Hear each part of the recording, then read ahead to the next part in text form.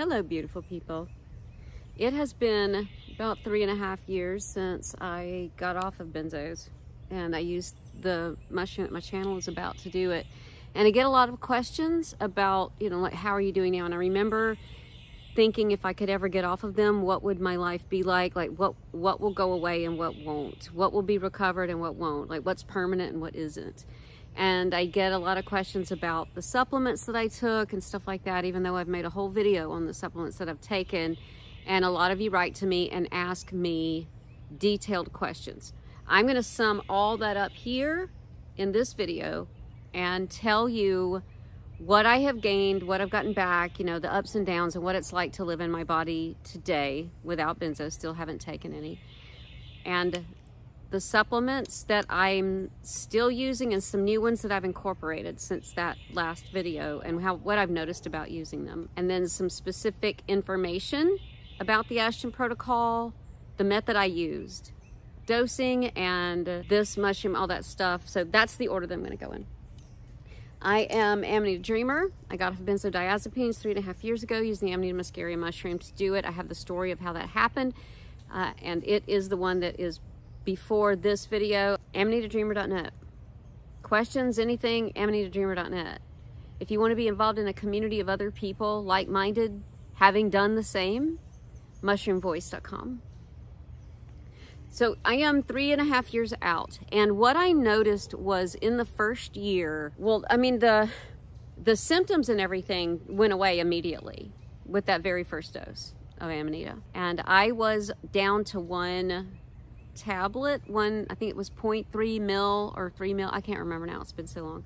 But I was prescribed three Klonopin at night, every night. Plus, you know, trying to withdraw from that shit and, and being miserable or just peaking on it and it not working anymore and needing more. And, and I was on mirtazapine and I don't know, I can't even remember now, I've blocked it out. But I was on three different medications trying to cope with it. But personally, between you and me, I was also taking painkillers and drinking.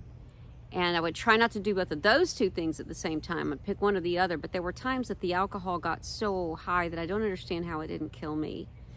So this is in an attempt to reduce your the danger threshold for you. If you are at that point and you're trying to get, you know, so what I did is I first I cut off all extracurricular things. I have to choose my words carefully here. Then I got off of all the others that were not the benzos. When I was finally down to the benzo, then I started tapering using the Ashton protocol. And what the Ashton protocol does is you get down to one tablet, however many you're taking of whatever you're taking, you get down to one tablet. And you can break those in half and in quarters, but I got tired of doing that, trying to break it. And when you get down to a quarter, you're supposed to just put it in, in water that's measured, that has numbers down the side. So you know exactly how much water you're dealing with.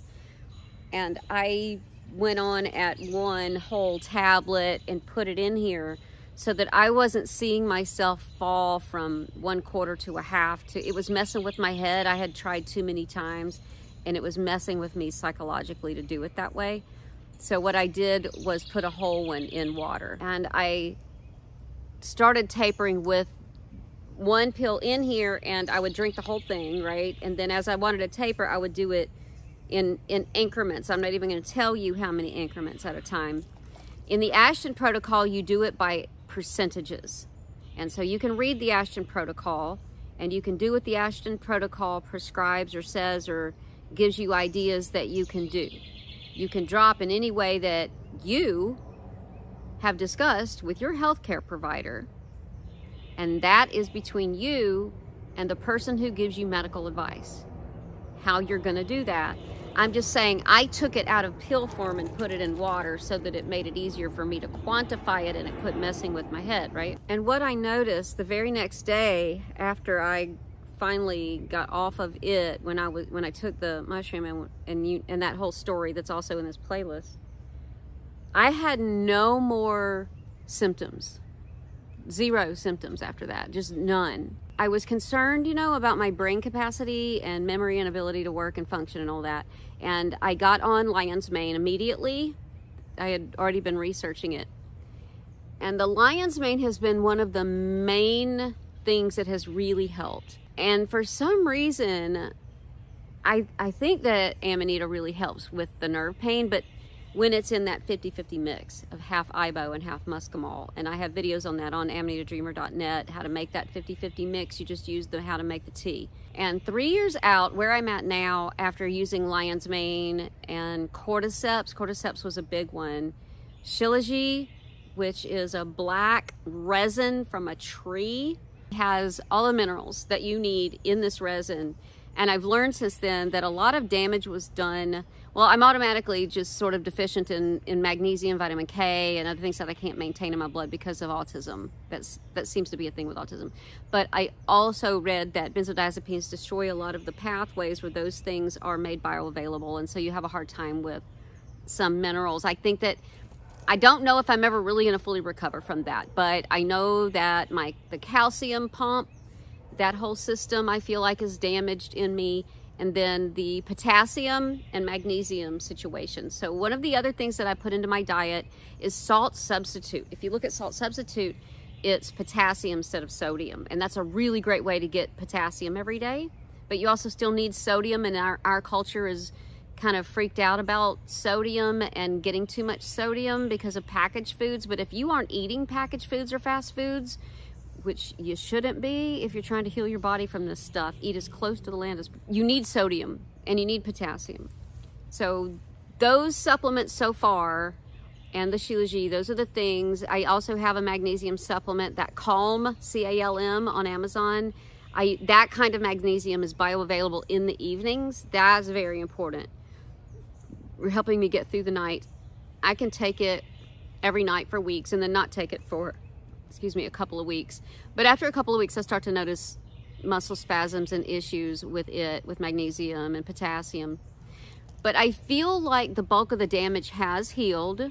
I feel like the lion's mane did a lot of the healing of that because it's the myelin sheath over the nerves that get damaged and then that causes the twitching in the muscles, which can cause all that spasming and stuff. So as I am now, I feel like I'm kind of going backward a little bit as far as pain and spasms. I mean, I'm three years older. I wasn't a spring chicken when I started all of this. I mean, aging is a thing and menopause is a thing and all this happened in menopause. And probably if you're younger, you'll have a much better rebound rate. But I can tell you that if I take the lion's mane for six weeks straight. I, I try to take it about six weeks and then give it a break a little bit. I do start to see a little bit of going backward in my vocabulary, my syntax, the way that I think, how I think, the sentences I put together, how complex they are, how much multitasking I can do, that kind of thing. I notice that I can get a little overwhelmed faster and I don't bounce back as quickly. But I have to say, three and a half years out, I feel like I recovered to 90% of my capacity within the first year. And it took about a year before I leveled off, nine months to a year. And I would still get some spasms, but it's always just in this one nerve. Instead of it being my whole body or my foot or hands or all over or whatever, it's always this one nerve. And it's because I think it's just where I was hit when I was a child and it sort of has trauma tied to it. But also that nerve is where I got shingles while I was on benzos in those five years trying to come off of them. I got shingles every single year for four years and it damaged that nerve. So I still get muscle spasms along the nerve, all the muscles that are along that nerve. Every once in a while, I will still get a foot or a hand spasm and I pay attention to my diet and realize I haven't added any potassium, magnesium, sodium. I missed the Shilajit, whatever. I didn't, I didn't take that stuff for a couple of days. I got busy or whatever, especially when I travel. So that will cause that. I'm overwhelmed right now because this is 2022. It's the year of traveling and making the documentary while also building a lot of websites and finalizing them and getting off Patreon and dealing with a bunch of censorship and a lot of haters as stuff spreads and more and I'm on more podcasts and more people show up and they don't understand this mushroom or what's happening with it and I have to just keep dealing with more and more censorship and putting more layers between me and the public and making it harder to get to me. So that's what I'm dealing with. And it's, it's overwhelming and it's taxing. And then I have to deal with anxiety. So I still take uh, this and I have it, this is the way that I tell you to make it. This is what my channel is about. And I make it in a batch of one cup and I put it in quarter cups and freeze them in these containers. And that way, this is now what I use, what I take. This is a 50-50. And when I'm ready to take it, I'll put it in my tea and add a little bit of lemon and that'll push it a little bit more decarb, you know, so there's more muscimol, especially at night. I have videos on full decarb into muscimol that doesn't have any of the acetylcholinergic side or the upside. And it is all the muscimol side or the calming side of what this thing can do and you can certainly make that and use that as what you're trying to do. But I have this intuitive sort of sense about it in addition to the research on what these two things do and talking to experts and sort of put together that it seems to me that it's better to leave the mushroom in as much of its original state as possible so when you make the tea, like that's just it. You do it as simply as possible. Make the tea and use that and let it do its job. I think it's an adaptogen. If you don't know what an adaptogen is, you can Google that part and look it up. As far as telling you how to go from your version of water to your version of this, that is practicing medicine without a license. And I cannot answer those questions no matter how much you write to me and ask me. I can't tell you what I did. I can't tell you how I did it. So what I'm going to tell you is even doctors who can practice medicine with a license online, they can't treat anybody or give them dosing information because they have to do an evaluation or they could lose their license or they could lose their insurance. So they still cannot diagnose or treat anyone online without speaking to them personally and doing sort of an intake. And I am not a medical professional and I get watched and shopped. I have worked for three years to educate, to be on podcasts, to make hundreds of videos, to build three websites, to do everything I can to help you. After that, you're going to have to watch the video on how to help yourself medically, how to start taking responsibility for yourself, and how to start listening to your inner voice and how to get there. I have so many videos on have coffee with me where I teach you about that inner voice and growing that inner voice. I understand when you are living in constant panic and anxiety, you don't hear it. One step at a time, getting yourself off of certain things and then on other things that help balance your body and heal your body. Then you've got to address your diet and the right supplements and the things that you want to take between you and your medical professional and how you want to heal your body. One of the things that I am working with that has really made a big change in my gut, I feel like benzos damaged my gut flora and my immune system, was raw milk. And I didn't find out about raw milk until I was trying to figure out how to make soma and what it did for my gut health and for my immune system was just a whole game changer. So now I incorporate raw milk. I get it from a dairy, not a dairy, a farm near here, about an hour from here. I see the cows. They're in the field. I know what they do and how they live and how they run their place. And it's a single family that I get this from. And I use it like medicine. And then I also make this with it to do a full decarb for times when I am just a little too high strung and I can't go to sleep. I have Mushroom Voice, which is is communitymushroomvoice.com. You can go to mushroomvoice.com and just click right there on the banner and go to our community where you can talk to other people that are doing this. Have some other like-minded individuals. We have Zooms. We get together all month long. There's one Zoom that I do every month where I am there and I answer your questions. You can join us that way. I make and sell stuff that has Amanita in it, but it is not this. If you want to make this, I have approved vendors on amanitadreamer.net. Go to where to buy. And they sell and they've been vetted and you can trust them. You can get the whole mushroom from them and then you can make it yourself. So you can feel free to do that. What I can't do is answer your email questions. I'm very sorry. I know that you are desperate. If you know anything about me or you've watched my stories and my videos about me, I know where you're coming from. It doesn't change the fact that I have now read hundreds, probably closing in on a thousand or over a thousand emailed stories of your lives.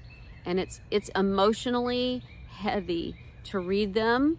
And I finally had to say, no more. Please don't email me anymore. I'm not going to answer you. I can't answer you. I don't have time to answer you. I can't do it. And I'm really sorry. So please don't ask.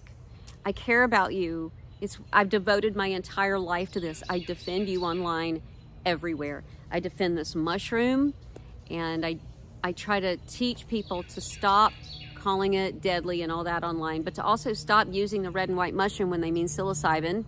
Because then when I try to talk about this one, people think I'm talking about psilocybin and they're not the same medication, so, or mushroom. So I'm trying to educate for you guys, trying to help you. I'm trying to do everything legally that I can do and also get the information to you without censorship, which has proven extremely expensive for me.